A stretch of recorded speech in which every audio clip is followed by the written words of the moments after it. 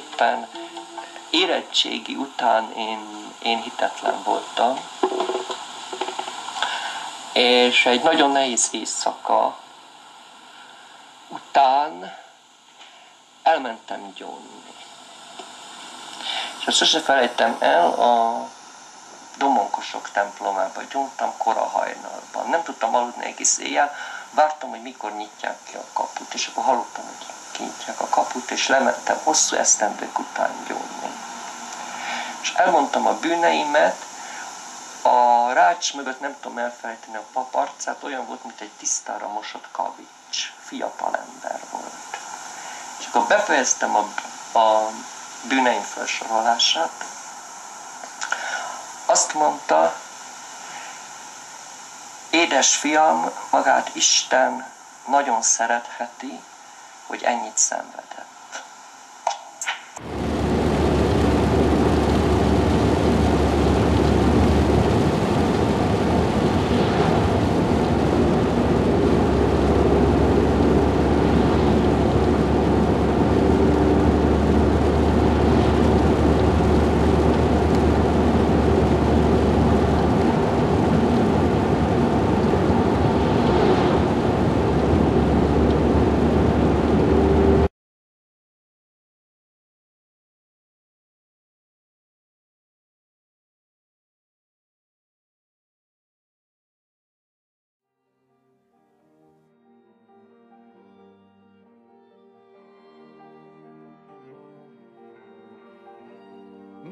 Lesz az a visszaröpülés, amiről csak hasonlatok beszélnek, olyan félék, hogy oltár, szentély, készfogás, visszatérés, ölelés, fűben, fák alatt megterített asztal, hol nincs első és nincs utolsó vendég. Végül is milyen lesz milyen lesz a nyitott szárnyú emelkedő zuhanás, visszahullás a fókusz lángoló közös fészkébe? Nem tudom, és mégis, hogyha valamit tudok, hát ezt tudom, e forró folyosót, e nyílegyenes labirintust, melyben mind tömöttebb és mind tömöttebb, és egyre szabadabb a tény, hogy repülünk.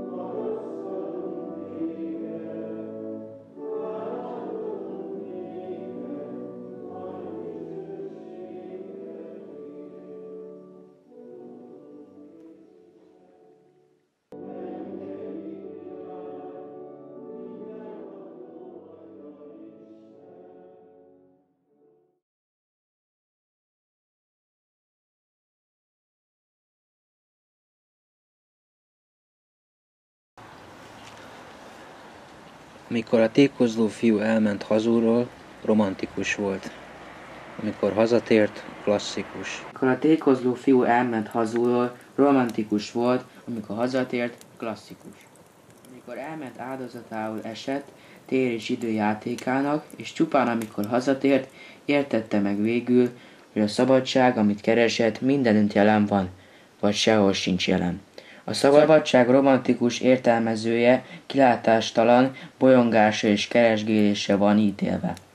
Szabadság csak a szeretetben létezik, és a szeretet minden, mindenben megtalálhatja a tárgyát és vele együtt szabadságát, de elsősorban ott is abban, ami adott, ami eleve az övé. Ennek szimbóluma az atya, az atyai ház ami semmiképp sem mesebeli sziget, hanem örökös és kifogyhatatlan hazatalálás a teremtőhöz. Bizonyos értelemben mindannyian tékozó fiúk vagyunk. Igen. lotkulj, ahol akarsz.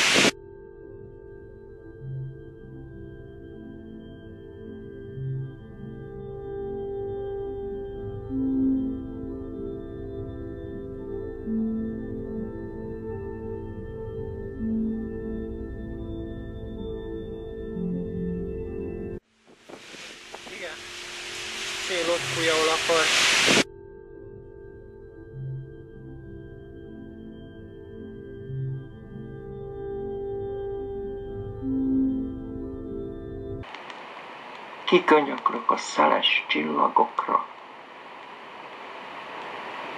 Csak most az egyszer szólhatnék veled, kit úgy szerettem. Év az évre. De nem langadtam mondani, mit kisgyerek sír deszkarésbe. A már-már elfuló remény, hogy megjövök és megtalállak.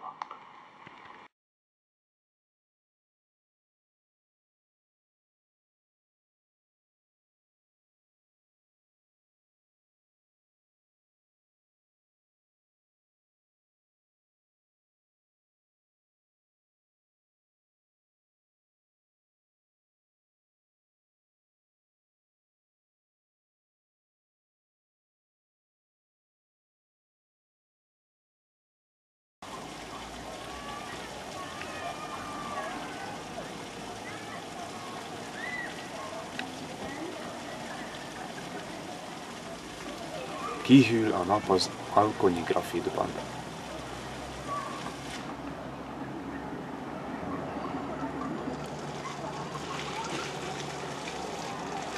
Tágasságával, éjségeivel a néma tenger arcomba világít.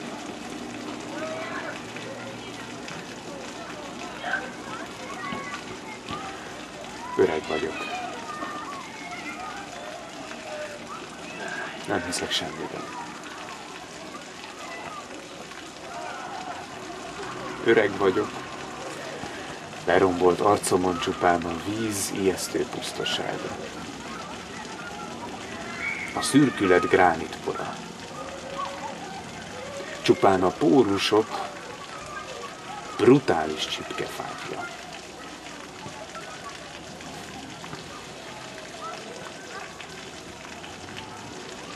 Hullámverés.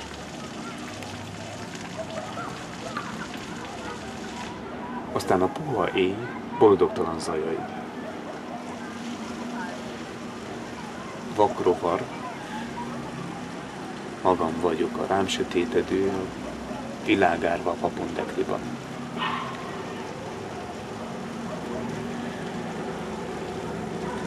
Itt fekszik mellettem ez a lány.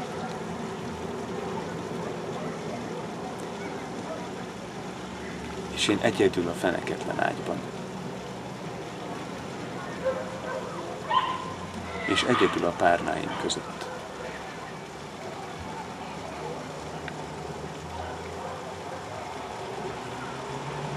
Magam vagyok az örökös magányban.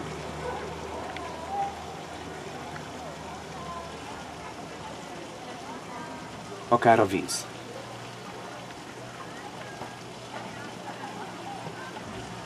Akár az anyaföld.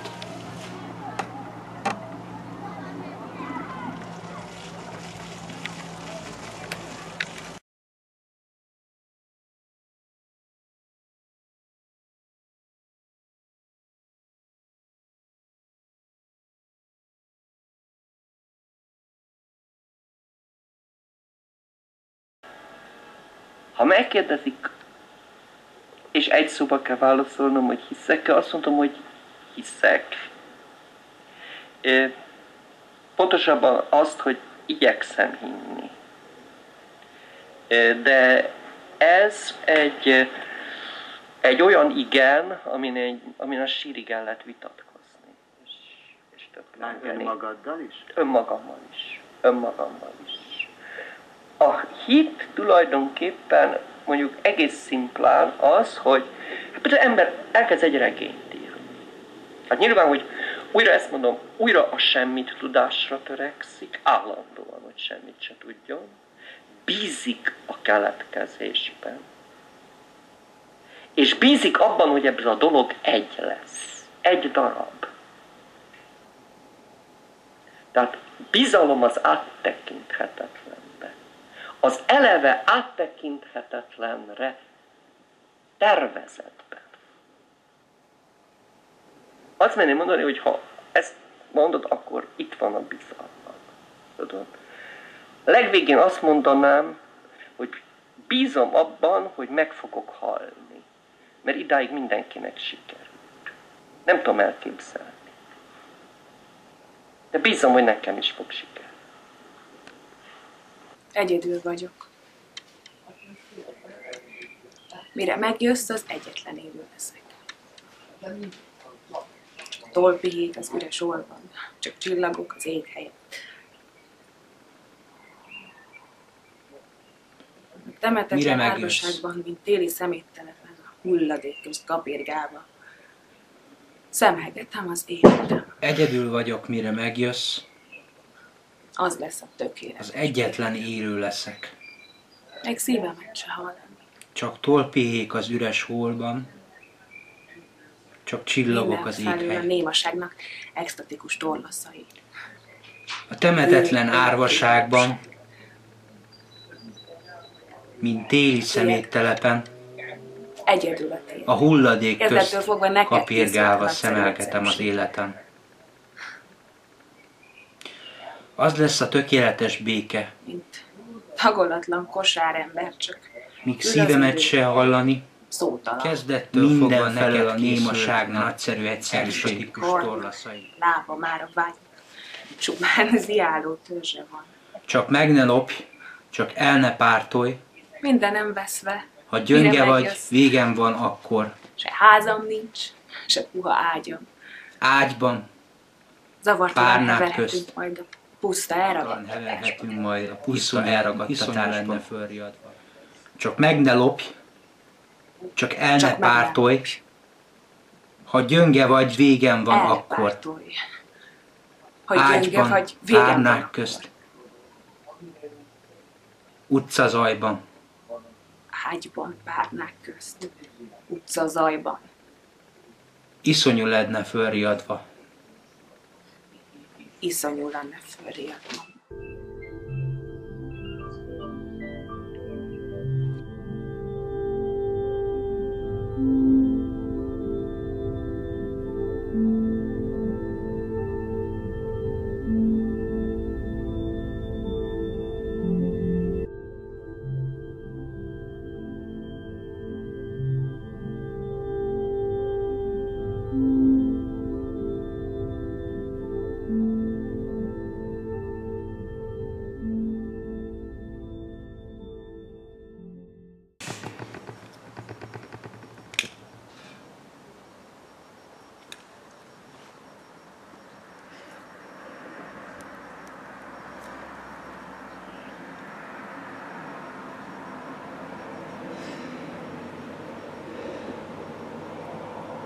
Poézis a hitben.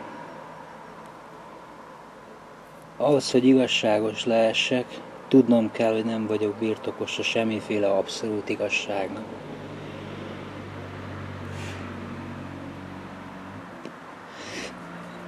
Hasonlóképp a művészetben semmiféle alkotás nem nyerheti el a jó ajándékát, amennyiben nem hajlandó újra és újra a nullpontról elindulni, a megemésztett bukás, pontosabban az alázat keservesen fájdalmas nullpontjáról.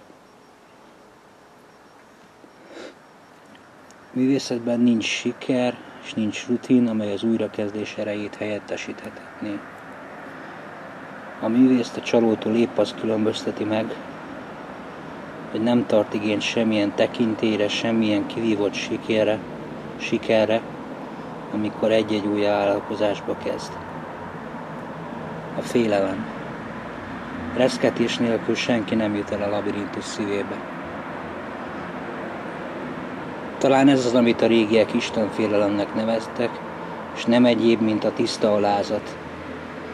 Gyönyörű egyensúly remény, bűntudat, tudás és nem tudás, személyes és személytelen, felejtés és tapasztalat, bizonyos, bizonyosság és elveszettség, között, ahol az alázat a nullpont ünnepéje Isten és ember legintimebb találkozó helye, sírás és megvigasztalás forrásvidéke.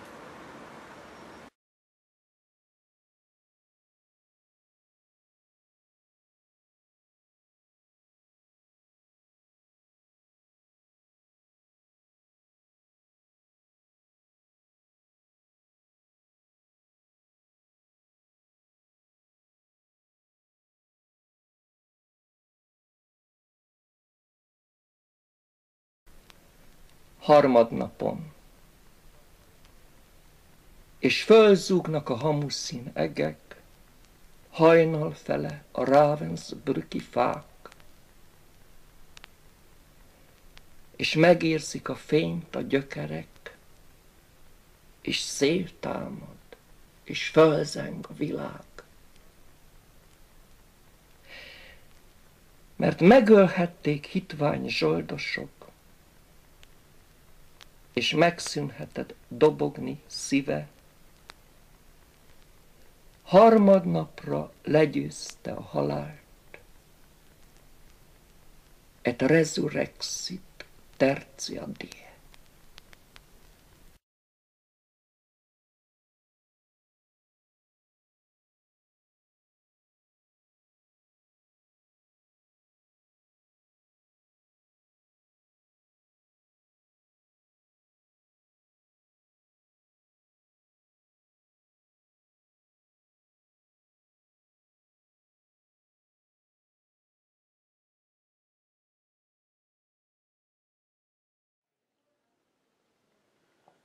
Kérdésem afelé irányulna, hogy hogyan lehetne összefoglalni Pilinszki színház esztétikáját, és ez hogyan kapcsolódik az ő vallásos hitéhez. Ez lenne a fő kérdésem elsősorban. Igen. Pilinszki több helyen is, több írásában is foglalkozott a színház kérdésével, a színház esztétikájával, részben kapcsolódva az evangéliumi esztétikával kapcsolatos gondolataihoz. Az ő megközelítésének a lényege az volt, hogy a színházzal kapcsolatosan egy válságot észlelt, amit ő a jelenlétvesztésben fogalmazott meg. Jelenlétvesztés alatt azt értette, hogy a hagyományos, naturalista, realista színház mindig egy múltbeli eseményt visz fel a színpadra, és nem tud elszakadni attól, hogy a múltat ábrázolja a jelenben, amit Pilinszki problematikusnak, meghaladottnak érzett. Ezzel szemben ugye sokat foglalkoztatta, és a korábban 60-as, 70-es években megindult absztrakt, abszurd színházi kísérleteket ismerte, foglalkoztatta, ez érdekelte is ez, Igen. amik ugye kifejezetten a jelen aktuális megmutatására Igen. irányultak a színpadon. Így Peter Brook, Artó vagy mások elméleti és gyakorlati Igen. megközelítésével is sokat foglalkozott Ebben viszont azt látta problematikusnak, hogy az abszurd színház az csak a jelen történése a szín, színpadon, és nincs egyfajta rámutatás a múltra, egy kimerevítése a jelen pillanatnak a színpadon, amit szintén egyoldalúnak érzett Pilinszki. Igen, és az lenne a kérdésem, ez a múltnak a gyakorlatilag megragadása, amit ugye Pilinszki igyekezett volna, amit őt nem talált meg az abszurd színházban, hogy ez kapcsolódhat-e Jézus Krisztushoz, Jézus Krisztushoz, a passió történet, az, hogy a múltnak a rögzítése. Ugye, és kérdésre ugye az a válaszom, hogy igen, igen. ugye a modern szakrális színházi kísérlet mintájának a katolikus szentmisét teremtette, Igen. ami ezt a múlt-jelen problematikát, amiről az előbb uh-huh. beszéltem, igyekezett szintetizálni vagy meghaladni. Abban az értelemben ugye a katolikus szentmise áldozati igen.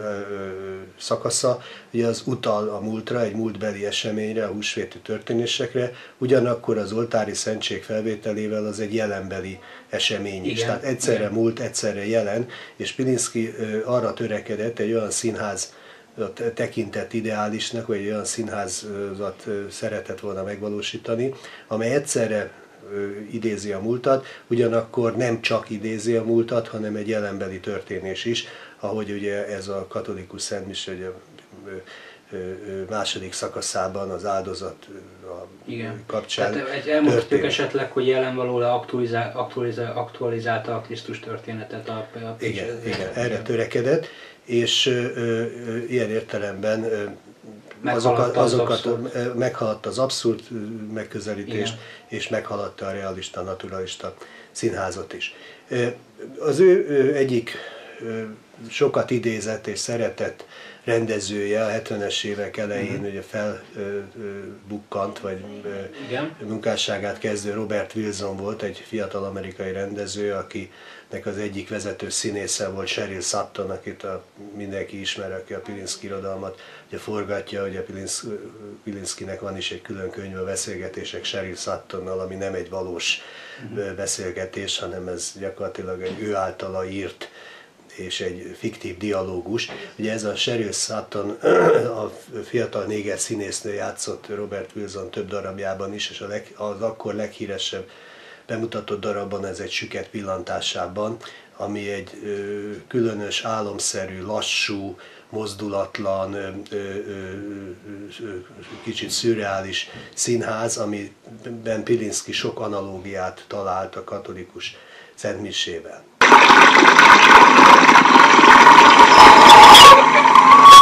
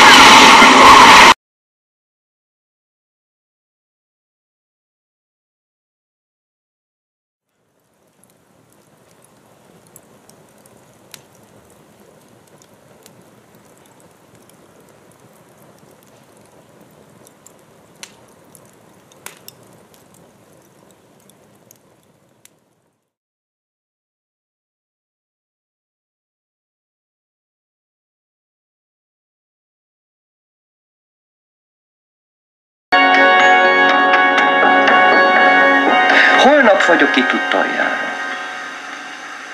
Kezet csókoltam mindenkinek, másokból voltam én itt. Fedőbűnnel sikerült eltakarnom azt az igazit. Azt, amit nem, nem, nem lehet se elviselni, se kimondani. Bűn az, minek nyomát is sikerül eltüntetnünk. Holnaptól ellenállás nélkül egyenletesen gurul.